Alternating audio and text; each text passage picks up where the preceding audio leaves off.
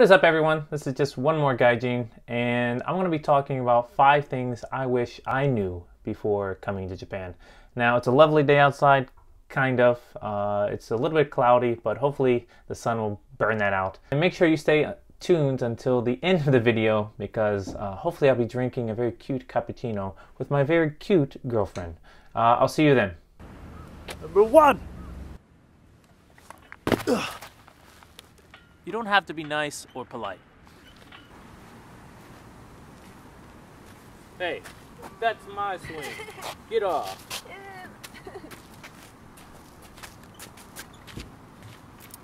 Now, don't be a jackass, but you can be impolite uh, if, if, if you need to be. And you can be impolite in polite ways too. When I was in university and I was studying Japanese and Japanese culture, I probably misunderstood that you have to be polite all the time, no matter what. It's not true. One example is uh, my friend, he went to a shrine and uh, he was trying to get a shuin. Uh, shuin or kind of like uh, an autograph of the temple or shrine. Uh, that's very, very simply put. But he was five minutes late, just five minutes late, and he really liked this place. Um, and the, the worker wouldn't let him uh, get the shuin. And I told him, you know, go back there, dude. Say uh, how you really feel. Like, tell her that, you know, you really like this shrine and it would just, you know, mean the world to you if you could call that person back uh, from his, his, break or her break and uh, have him do the autograph. And he went back there and, and she did. Now, that's an example of being kind of impolite in a polite way. An example of being impolite, just straight up, is uh, me, actually, unfortunately. I went to a karaoke place and I was talking to the worker, and we decided on the price uh, and the time. After I said my time, he said, Oh, and also you have to pay this amount of money uh, in drinks. I asked him, Do I have to buy those drinks? And he said, Yeah, you do. So I was like, so the price isn't really this, it's this plus these drinks. And he was like, yeah. I didn't like that. I thought that was pretty shady of him. Uh, maybe not of him, of maybe the company. So I told him, you know, tell me before uh, we decide on the price. And then he was like, oh, so you don't want to do karaoke? What? That was a bit rude to me. So I was like, no, I want to do karaoke. We'll, we'll buy the drinks. So I went in there. We had fun, did our singing, and came out without a drinks.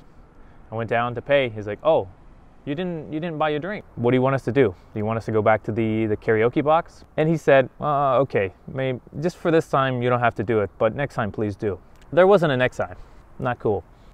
So what I'm saying is, you know, you, you don't have to take everything that's given to you in Japan. You don't have to say, oh, okay, I'm sorry. Uh, I, yep, I'll do that. Oh, I'll pay this extra money. Oh, I'm sorry, I missed it. Yep. You don't have to do that. You can, you know, haggle, for lack of a better word. You can, you know, voice your opinion. Don't be a jackass. You know, know what you want to say and, and let them know. That's it. Right, two. Japanese people are nice. Very nice. Extremely nice.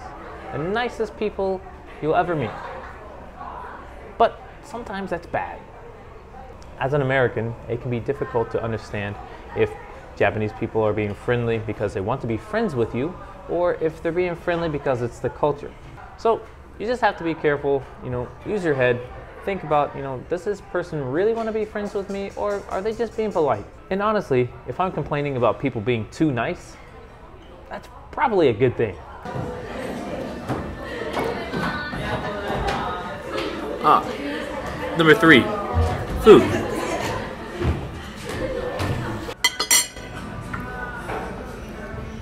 And more importantly, the importance of food.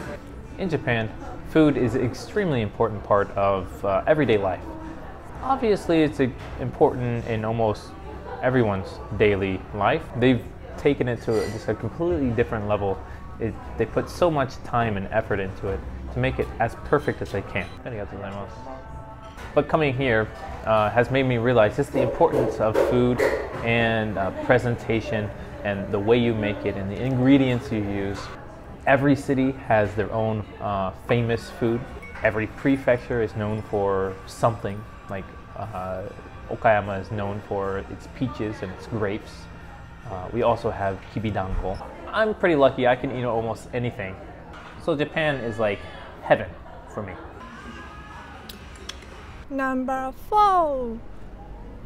Culture shock, or really any kind of shock. No matter what kind of experience you have, or what you've done, or where you've been, you're gonna have this. I had studied Japanese for four years, Japanese culture, history, language. I, I had studied abroad. I thought I was ready for everything. Culture shock? No, that wouldn't happen to me. But it did, and it will happen to you. It's not the big things that really get to you, like the language or writing or having to deal uh, with a bunch of paperwork that means nothing. It's the small things, just little differences that, that really build up. The big one for me is uh, Christmas, or really from October to December, even January. You just have all these things that you really, really miss. You know, you, you look at your friends and at, on Facebook, and uh, you just sometimes you just want to go home. And there are other things like um, society shock. I came to Japan the day after I graduated. It was my first big job. I wasn't ready for the for working. Of course, I'd had many side jobs and other things like that, but I just wasn't ready. On top of being in a different culture, using a different language, living in a small apartment, it's gonna happen. So be ready for it and uh, work through it. You can do it. I did it. And lastly, that brings us to number five racism. This is a bit of a serious one, so uh, figured we sit down and talk about it a little bit. S- small things that can build up over time. I'm sure we've all heard, oh, you use chopsticks very well. Or you say konnichiwa and they're like, your Japanese is perfect. Or just basically constantly getting questions of, you know, where are you from? Why did you come to Japan? It doesn't mean to be harmful. Uh, you know, a lot of people, a lot of Japanese people are just trying to uh, start conversation or, you know, to, to connect. Getting that every time you meet a new person can really just get grating. It can really grate down on you. So, is this racism or, or what is it? You know, uh, it's not for me to say. What I do want to say is that after you've been here for a while, it can get really old. If you're the person, the type of person for this to get on your nerves and wear you down and let it get to you, it's going to be really difficult for you to live here. You just have to go with the flow and uh, and and not take it too seriously. Just realize that they're not. It's it doesn't mean anything bad.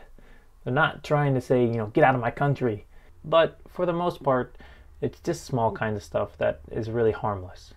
Alright guys, that was five things that I wish I knew before coming to Japan. And remember, all of this was my opinion. So if you don't agree, that's completely fine. That's great actually. If you don't agree, let me know. If you have questions, let me know.